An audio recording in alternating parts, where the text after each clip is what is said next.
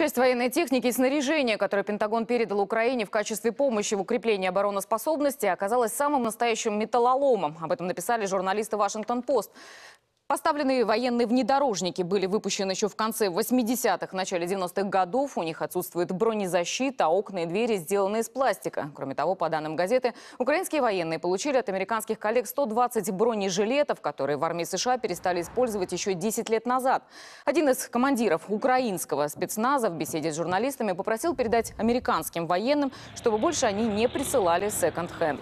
В оборонном бюджете США на следующий год на военную помощь Украине заложено 300 миллионов долларов причем, по данным Вашингтон-Пост, в том числе и на поставки летального оружия. Зачем выделять деньги и такое оружие, когда на востоке Украины установилось перемирие, не сообщается.